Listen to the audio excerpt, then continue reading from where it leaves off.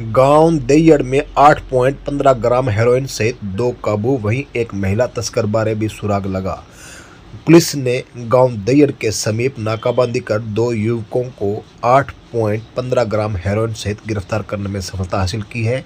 वहीं आरोपियों से पूछताछ में पता चला है कि वे गाँव चाहरवाड़ा से एक महिला से यह नशीला पदार्थ खरीद कर लाए थे।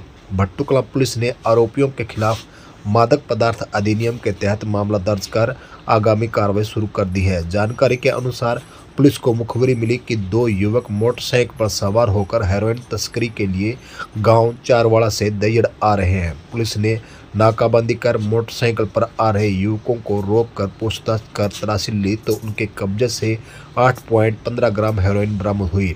पुलिस ने पूछताछ में युवकों ने अपनी पहचान विक्रम व पवन कुमार निवासी गाँव दैयड़ बताया। युवकों ने हेरोइन खरीद कर लाने संबंधित एक महिला निवासी चारवाड़ा का भी खुलासा किया है, जिस पर पुलिस ने इस संबंध में जाँच आगे बढ़ाते हुए उनकी भी तलाश शुरू कर दी है। इस प्रकरण के जो नशेड़ियों पर रोकथाम के लिए गाँव के जागरूक लोगों ने भी पुलिस का ज़बरदस्त सहयोग किया और यहाँ पर जो है नशे से संबंधित रोक लगाने को लेकर ग्रामीण जागरूक होते हुए अपनी मुहिम चलाए हुए हैं। गाँव दैयड़ में सरपंच प्रतिनिधि कृष्ण जांगड़ा को भी इस दौरान यहाँ बुलाया गया था।